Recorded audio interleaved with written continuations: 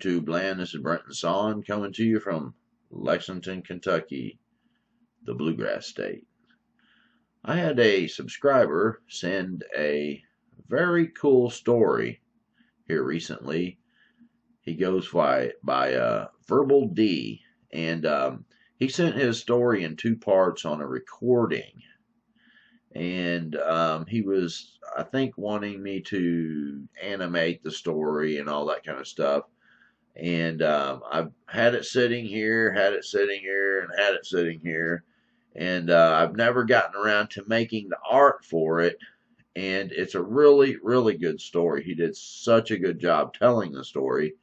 I thought I would post the story with some of the art I already have because I think the story is really a good enough to if you just listen to it you visualize the story anyway and I I can put up some of my art from the you know, various other shows and things that I've been doing and uh, give you something to kind of look at.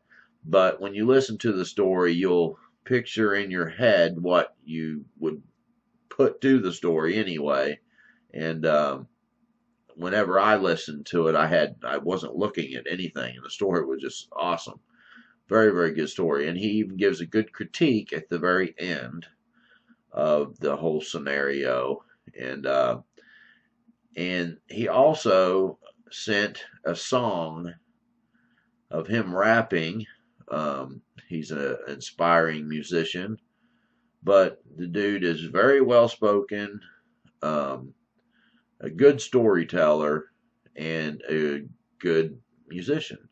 So at the very end, I believe I will put the song. So listen to the song also, if you would, and um, and this is art from just previous videos, just something to put on the screen as he tells his story. So this doesn't necessarily go with the story. And uh, anyway, let me know what you think. And this is a, a really cool story, I think. So enjoy.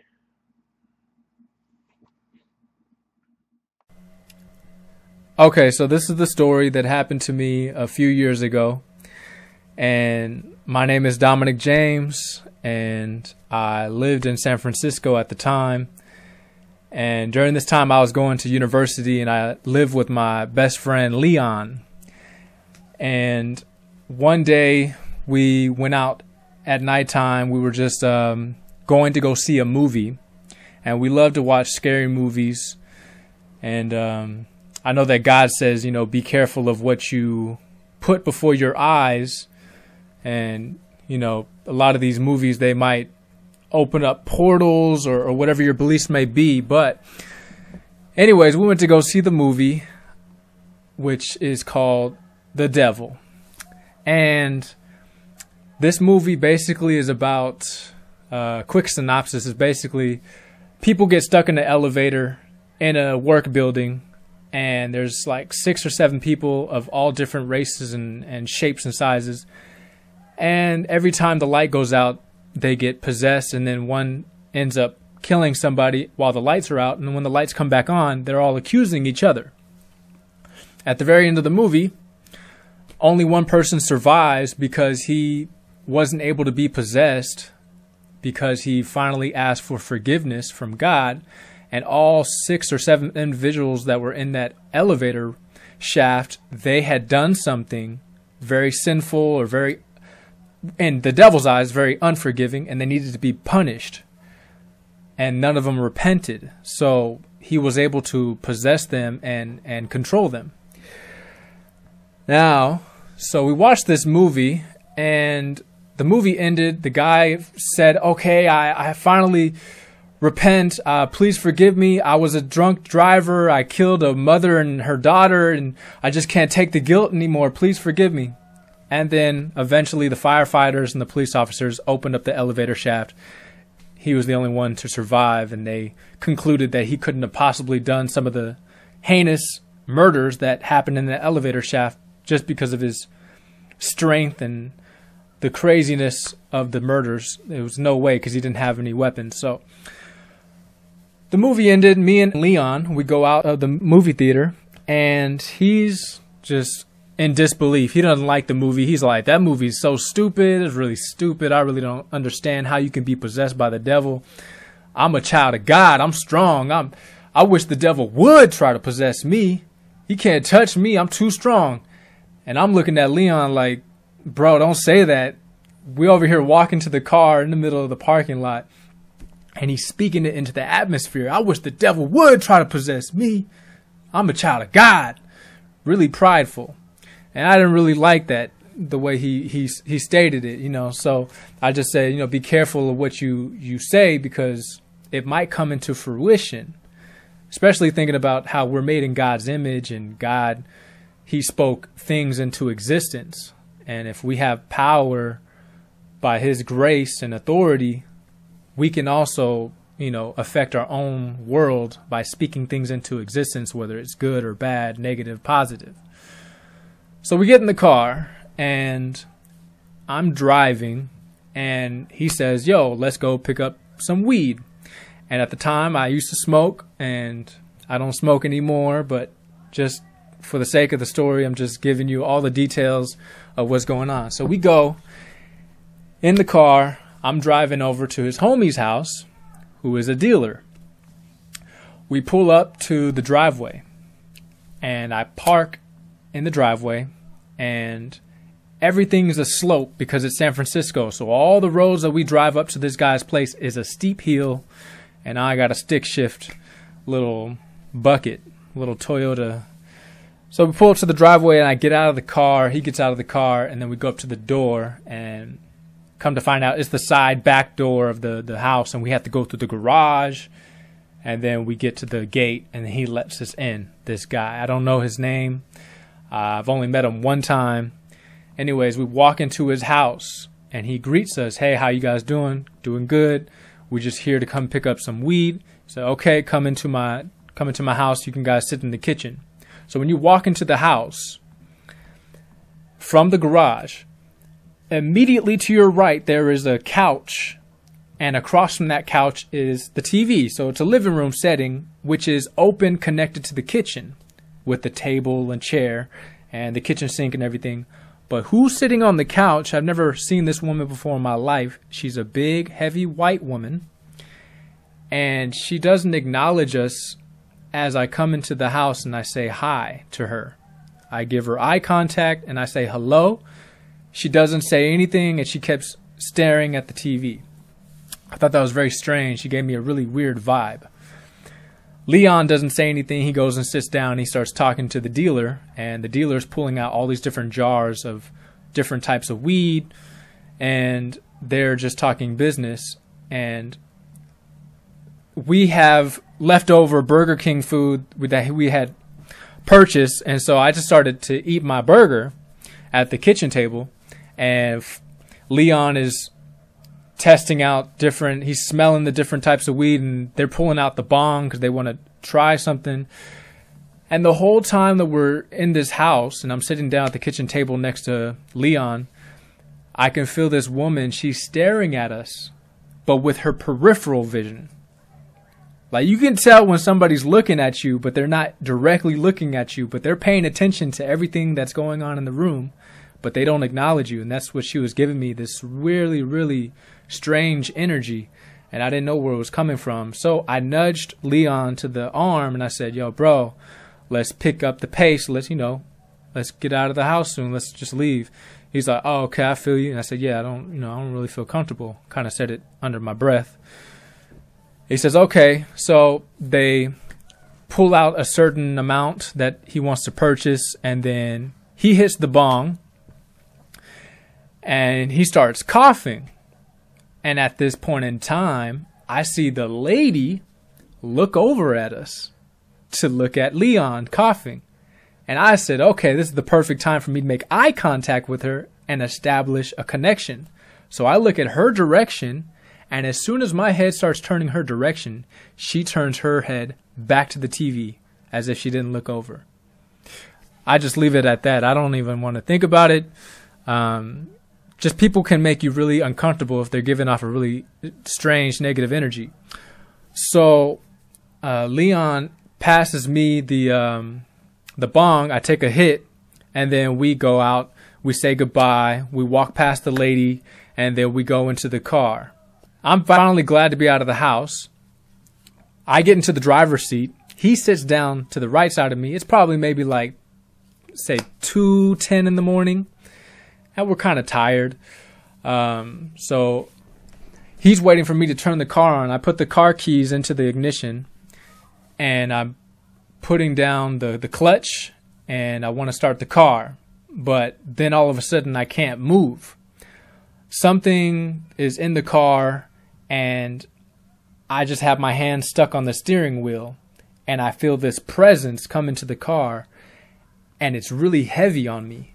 I can feel the weight on my legs, on my feet, on my thighs, on my chest, on my shoulders, and I can't even move my head. I'm just like paralyzed. And I'm looking straight, and I can only move my eyeballs left or right, left or right.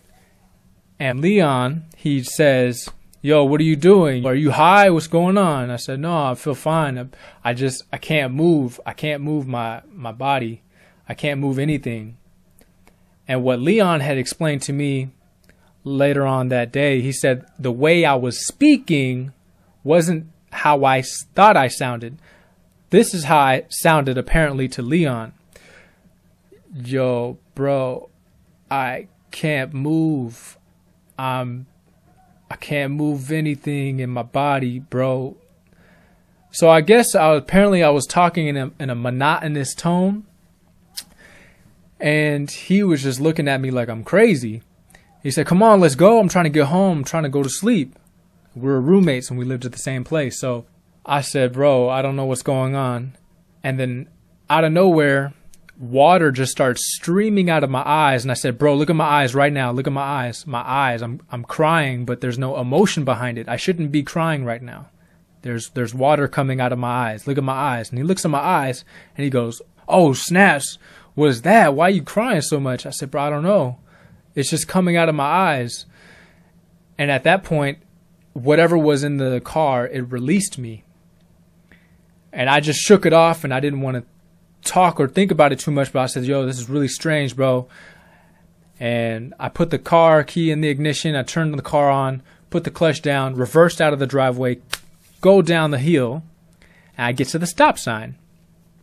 Stop at the stop sign, I go ahead and continue, and then I get at a stoplight and I stop at the stoplight because it's red. Two cars come up behind us and park behind us, and they're just waiting for the light like we are. And then out of nowhere, it comes on to me again this presence on my body, and I can't move. Now the light turns green, and I got two cars honking at me. Go, go, what are you doing? Get out of the way. Move your car. And I can't move. Leon said, Let's go, let's go. I said, Bro, I'm I'm paralyzed. I can't I can't move. It finally releases me again and on the way back to the apartment it happens two more times. So we finally get to the apartment, I park the car, we get out of the car, we go up to the apartment building, we go through the elevator, we go up to the fourth floor, get out of the elevator, walk down the hallway, get our keys out, I open up the front door, and when you get into our apartment, it's just a straight long hallway, and we got four roommates. They all have their own room, and we have me and Leon have our own room in the very back. It's the biggest room. We have our own bathroom, our own closet, and it's like a master bedroom. So we walk all the way down the hallway in complete darkness. Everybody's sleeping. So we're tipping toeing all the way back inside our room.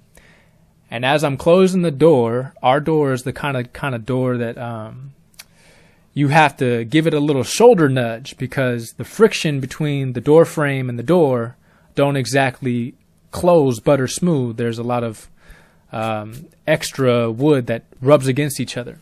So I give it a shoulder nudge and it it locks. It clicks into place. And so many things are running into my head, and Leon's tired, so he goes and lay down on his bed. And I lay down on my bed, and my bed is facing directly across, parallel to the door we just came into, the entrance to our room. He's already falling asleep on his back, and I'm laying on my side staring at the, the entrance door to our room.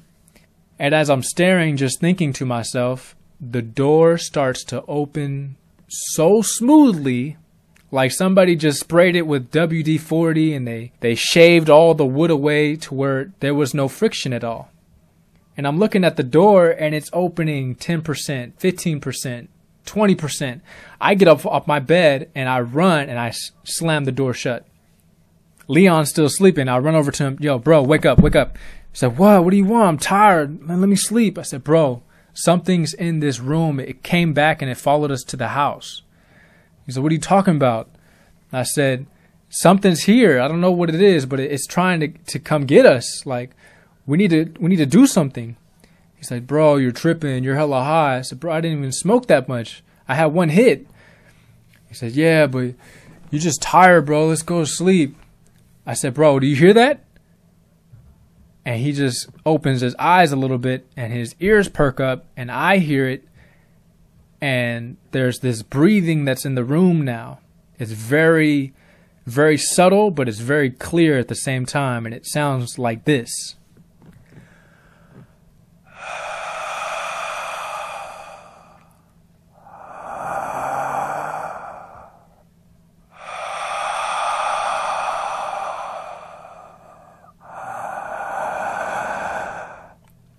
It was like the scariest breathing I've ever heard. It's like straight from Hollywood movie type breathing. And it just spooked me. Like, really, I just didn't know how to handle it. And I said, Bro, do you hear that? What is that? What is that? There's something breathing in this room. And I start walking around the room, and he's still on the bed, sitting up, thinking too much. He's just in disbelief. And I go up to the wall. And Leon has this Albert Einstein poster on the wall with all these Albert Einstein quotes. And I take the poster down and I put my ear right up against the wall. And the wall is adjacent to our roommate next door, but he snores really loudly when he he sleeps and Leon makes this suggestion, "Oh, that's just our roommate." I said, "No, it's not, bro. Come come over here, put your ear right next to this wall." He said, "Nah, I'm not going to do that, bro. You're tripping." I said, "But bro, you hear it too. It's right here. I'm putting my ear right next to the wall and I can hear the breathing coming literally at me in my direction from the wall. He says, "No, that's the that's the air conditioning. The air conditioning on. No, that's the wind. That's the wind underneath the door. That's the that's the refrigerator, the mini fridge in our room." I says, "No, it's not.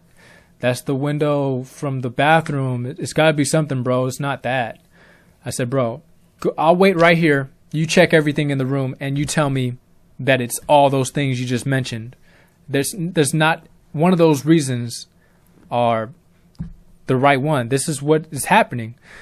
I was getting kind of frustrated because he's not believing me, but he hears the sound. So he stands up, he checks the closet, checks the doors, checks the bathroom, checks the refrigerator.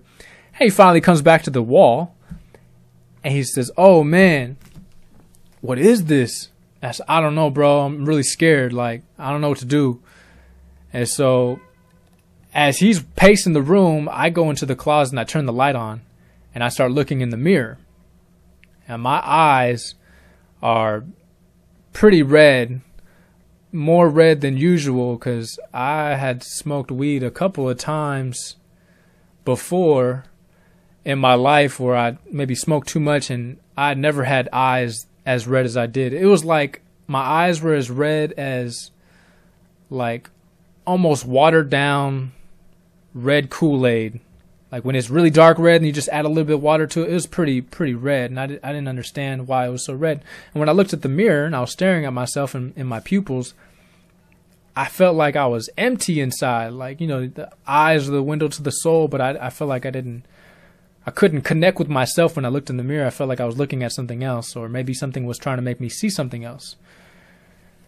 So I snap out of it and I get out of the closet and I talk to Leon. and said, "Bro, we need to do something." And then I start to sit on his bed where he's sitting because he's still thinking. And out of nowhere, this presence comes close to us and it starts to push us downward. So we have pressure both on my chest and he has pressure on his chest.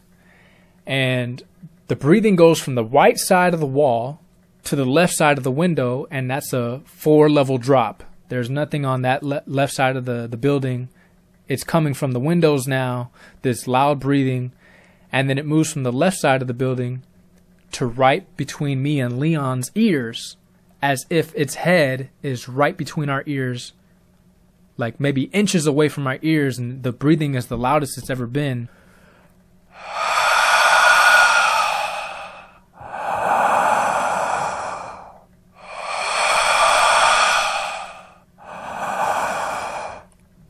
And at that point, I just grabbed Leon's hand. I said, Bro, we need to start praying. And when I said that, we were pushed down all the way onto the bed. So now my head and my back is on the bed. Leon's head and back is on the bed. I'm holding his hand. I said, Bro, we need to pray. He pulls out with his right hand his phone.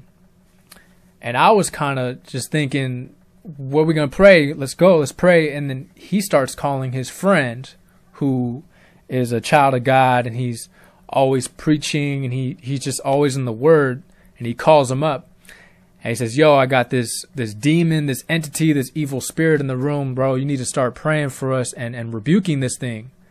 So he had him on speakerphone and the friend just started to say prayers in, in Jesus Christ's name. You're not welcome here. We rebuke you.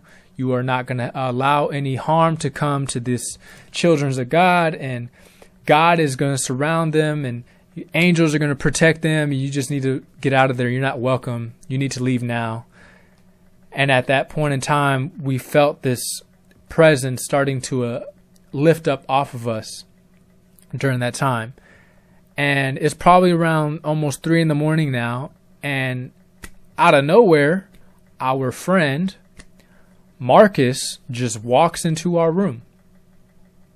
He doesn't live with us.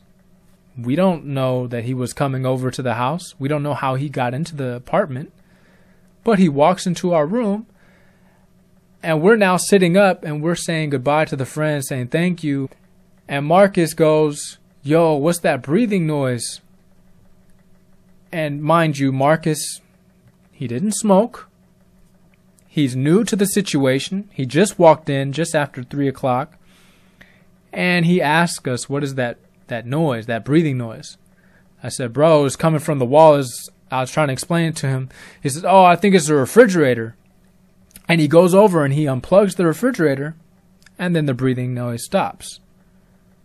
But that was really strange because me and Leon look at each other and we know that it wasn't the refrigerator because it just traveled across the whole room and it was affecting us physically. So we asked Mark Marcus, "How did you get into the room?" And he says, "Oh, the door was unlocked." And I thought that was kind of strange. I didn't know how to take that. I said, "Oh, okay." So nobody let you into the apartment. You just came over. You didn't even know we were going to be awake. He said, "Yeah, but you guys stay awake late." So, anyways, we stay up the rest of the night. We don't really talk too much about it. Um, we were tired. We finally went back to bed. Marcus ends up crashing with us and then that morning, we wake up. Marcus is already gone. Guess he had school. I got school. Leon has to go to school, but he has classes a little bit later than me. So I get up, grab my backpack, brush my teeth, wash my face, and I'm heading out the house. And I say, "Yo, bro, be be safe, and uh, I'll see you back at the house later on." He says, "Okay, for sure. I'm about to take a shower." I said, "Okay, cool, peace." I grab my longboard and I go down, elevator, outside, and I'm already cruising over to the university. I get a phone call halfway to the university. I'm only like maybe seven blocks away from the, the university. Leon calls me, Yo, bro, you got to come back to the house. You got to come back to the house. And I said, What happened? This is crazy, bro. I just got out of the shower and I opened the door. And as soon as I opened the door to the bathroom to our room, a heat wave just hit me hella hard, like like like as if you had the oven on and you just opened the oven door when it was at its highest temperature. A heat wave hit me and just kind of threw me back a little bit. And then the two beds that are on top of the rug, the carpet rug, they moved towards me, bro. They moved towards me. Slid towards me like five inches, bro and the carpet in between those two beds is scrunched up. I got proof, and I'm still in my towel. I'm still wet, bro. I didn't even have a chance to dry off. I said, bro, I'll be right back. I'll be over there. Hold up. He said, all right, get over here as fast as you can. I get back to the apartment. And I check it out. He's still in the bathroom, scared as heck, shaking. So I moved the beds back to their original position. I straightened out the carpet rug and I said, Bro, let's do a little prayer. We do a prayer. I said, Yo, be safe because I really got to go to school. He says, Okay, for sure. Appreciate you coming over. And I said, Yeah, it's, it's good. And then um, I said, Bye again. And I head to class. Now, later on that day, he goes to school and then I see him at nighttime and this is the second day, mind you, from this whole incident that had happened. From us watching the movies to us going to the guy's house to buy weed and then coming back to the apartment. So when he comes back from school, he says, Yo, bro, when I was going to school, I took the elevator and I heard the strangest thing in the elevator, bro. I don't know if it was the security guard messing with me or, you know, he was like saying something over the, the overhead speakers, but I was in the elevator and I was heading down from the fourth floor to the first floor and I heard like this like this monster voice. It was really deep, bassy, and it had like really strange language to it. It kind of sounded like I didn't understand it. It just sounded really strange. I just thought it was the security guard messing with me. When he told me that, I didn't think of anything of it. I said, "Yeah, maybe he was messing with you, or I'm not sure." what to think of that, but we don't have anything that happens at the house at any time at that time. So maybe a couple weeks go by, and then um, Leon has some issues with one of our roommates because he keeps smoking in the apartment, and he had signed a lease agreement where he's not supposed to smoke inside the apartment.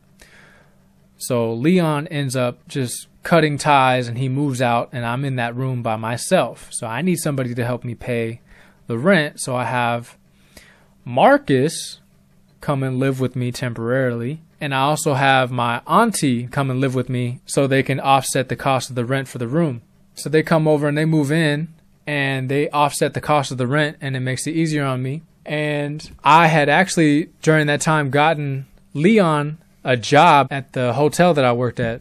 And I was just kicking it at the house, at the apartment, and he's at the new job working graveyard shift. And Marcus came over to visit with him, and they're just chilling behind the desk. So while they're chilling behind the desk, Marcus has his phone next to Leon's phone, and they're probably watching YouTube or something. It's a really laid back job. It's just a front desk clerk job. And apparently, they get a phone call to Leon's phone and Leon looks at his phone and he says, Yo, Marcus, you're calling me, bro. Marcus looks at Leon and said, No, I'm not calling you, bro. My phone's right here. Look at it. And they look at the phone, and the phone is not calling anybody, but they're getting the phone number for Marcus's phone, calling Leon's phone. So they answer it. Leon hands it to Marcus. He says, Yo, answer it. So Marcus answers Leon's phone. He says, Hello? and there's a voice that goes, "Hello." Marcus goes, "Who who is this?" The voice goes, "Marcus." Marcus says, "No, I'm Marcus." The voice goes, "No, I'm Marcus." Marcus says, "Yo, stop playing on the phone. What do you want?" The voice goes, "I want Leon." Leon said, "What you want with me, cuz?" Who sent you? Who sent you? The voice says, I want Leon, and I want Leon's girlfriend. The voice even says Leon's girlfriend. I'm not going to say her name, I'll just call her Melissa. I want Melissa. And then he says her full name. And me and Marcus know that Leon's very private about his life and he doesn't like to give anybody any personal information about his life and his girlfriend stays home a lot and she just goes to work she stays at home she doesn't really socialize that much and she's fairly new to the city anyway so the fact that this voice even knew her full name was really trippy to at the time and he says yo what do you want with her you got to deal with me what do you want stop playing on the phone and then the voice says i can see you both I know you're at the hotel. I can see you. And Marcus goes, No, we're not here. No, I'm not. I'm not at the hotel. And the voice says, You're a liar. I can see you. I know what I know what color shirt you're wearing. And it even tells Marcus what color shirt he's wearing at that moment. And at the time, Marcus and, and Leon look at each other like, yo, somebody hacked into the video cameras and they hacked into the phone. What's going on? You got like some guy messing with us using technology. At that same time, they're trying to figure out what's going on. So they think maybe it's Dominic, maybe it's Verbal. They call me Verbal because Verbal D is my, my musician name. And Leon's a musician. So they start to call my phone with Marcus's phone. I'm at the house just chilling with a friend and they call me up and I answer the phone and it's my, I don't know, it's like maybe 3.30, 4 in the morning. And I go, hello? They had said, yo, verbal, yo, verbal. And I say, yo, I'm right here. And as soon as I say hello, I hear this voice and it goes, hello, Dominic. Who's, the, who's that guy just saying my name? and said, "That's what we're trying to tell you. What are you doing right now?" And I said, "Oh, I'm just uh, chilling at the house, kicking it with my friend." No, but what are you doing?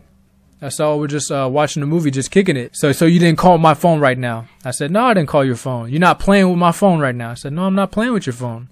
He said, "Bro, there's somebody on the phone right now." And I said, "Who is it?" He said, "I don't know."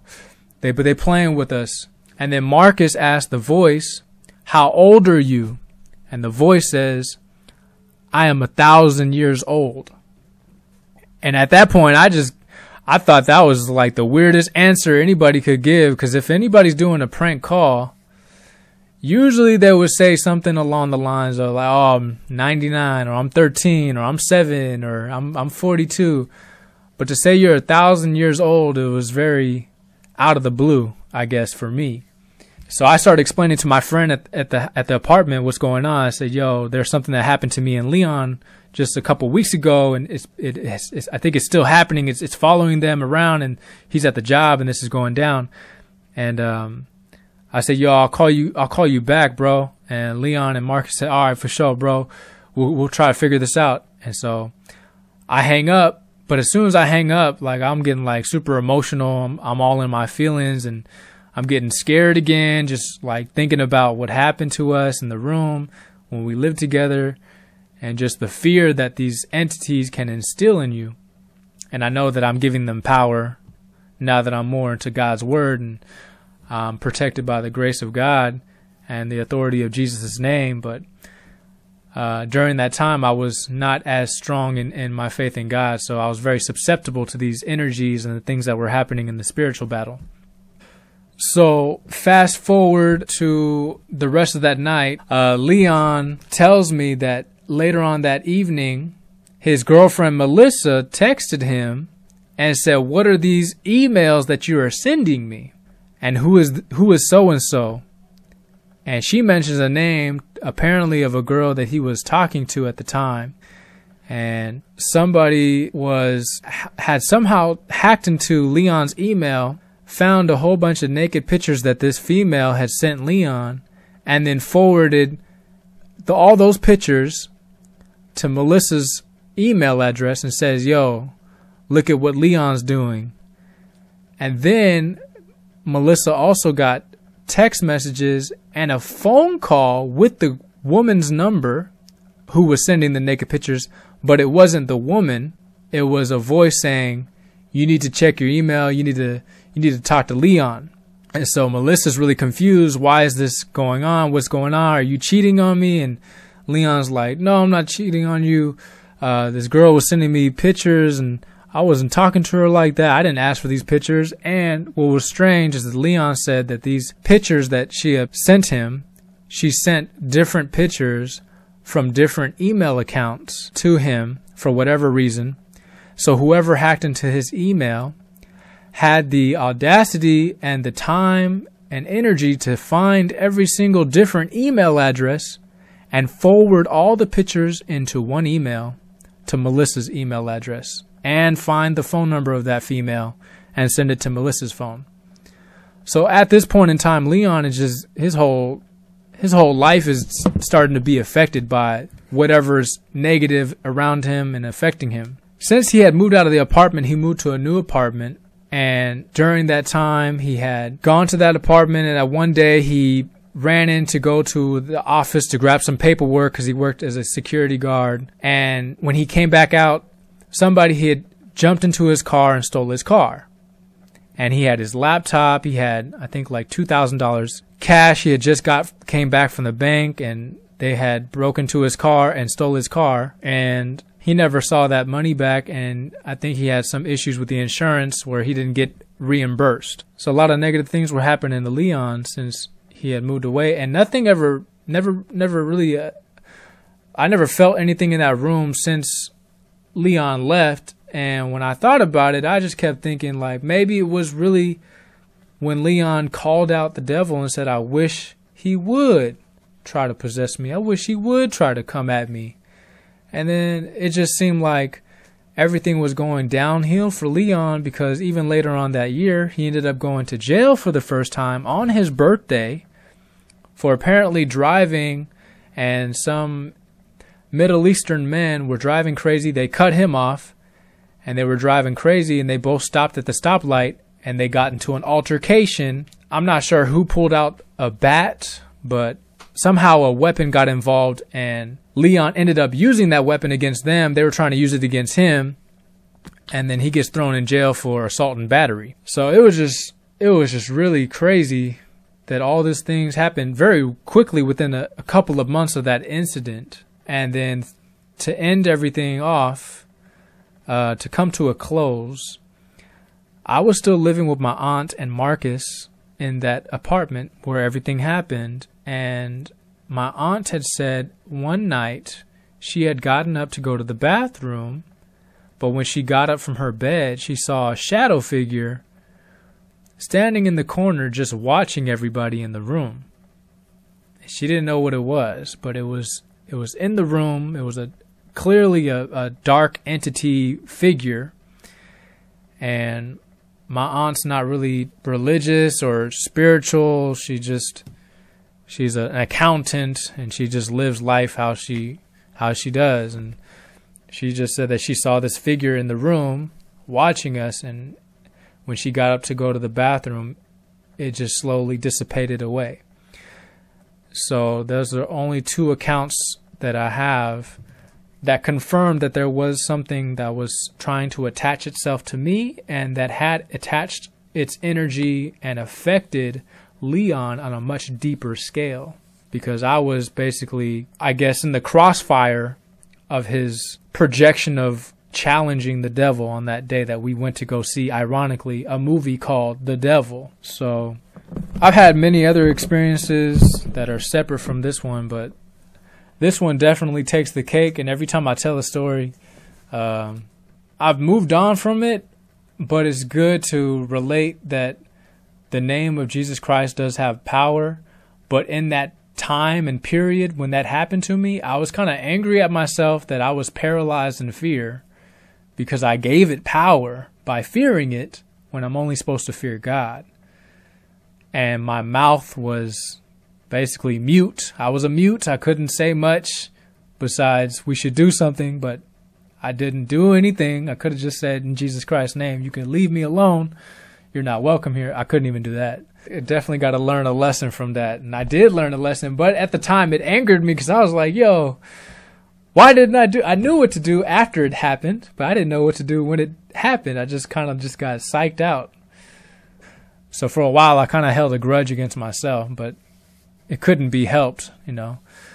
But now I'm more in the in the knowledge of how to protect myself. So that's my story. Well, one of them at least.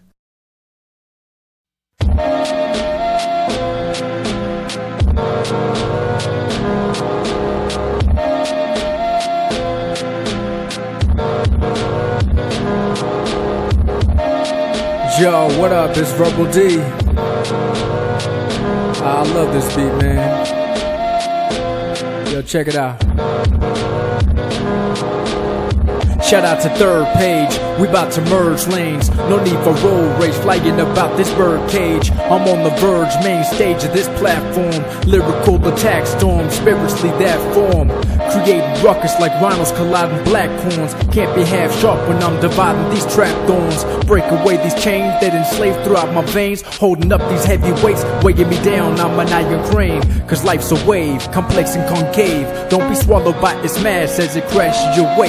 Get on my raft, yes, to help you through the pain and the wrath. And if we get thrown off the side, God'll make us a path. You know, with me, you got another brother and friend. So I don't have to act it out like I need to pretend. We in the same situation and we all need to win. And I'ma build your spirit up all the way to the end. We're breaking waves and I'm balancing out my soul. I'm going out with the tides, they valiant about my flow. Cause my music serves a brighter, higher purpose than me. Listen, my inner soul is speaking love so positively. That's what it takes to change this world that is encompassing me. Locked in this beat, don't be so quick to show how pompous you be.